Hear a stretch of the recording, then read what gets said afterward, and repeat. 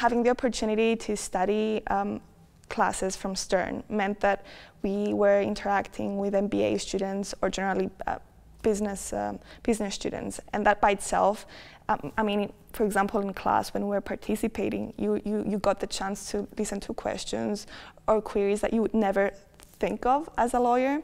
So I found that extremely important because um, it gives you that extra perspective that you didn't originally have, and also being taught by business professors meant that the whole approach towards the topic was completely different.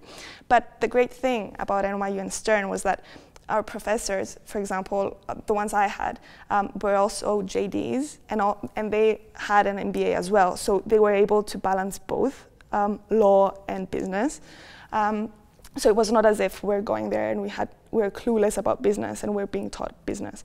So there was a, a, great balance, and this is one of the great things about NYU and Stern that the, the classes they were offering were being, you know, they were balancing both sides.